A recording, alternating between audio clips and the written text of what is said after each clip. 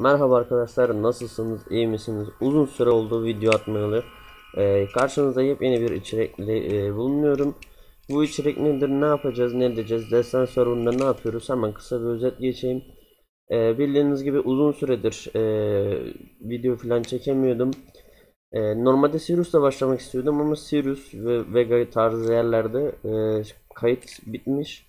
Bu yüzden de eski bir serverlardan olan Destan'da başlayacağız ee, şu anda üzerimde e, hiçbir item yok. Her zamanki gibi işte görev itemleriyle başladık.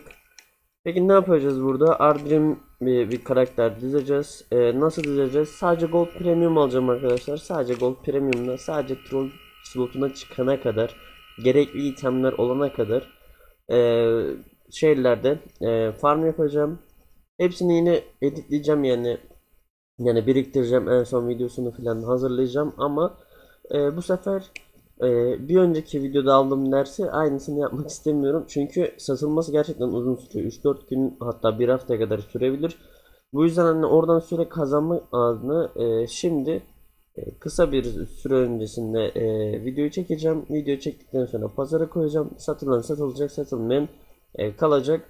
Ama e, cashleri falan her şeyi yine bankada biriktireceğim. Aynı bu tarzda olacak. Ee, umarım e, başarılı olabilir. Nerede kastımı ya da ne yapacağım ne yapacağımı söylemeyeceğim. E, bu yüzden e, gün ve gün hani takip ederseniz daha rahat görebilirsiniz.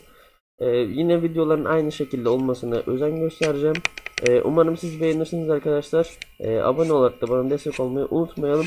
E, kendinize iyi bakın. Hayırlı Ramazanlar.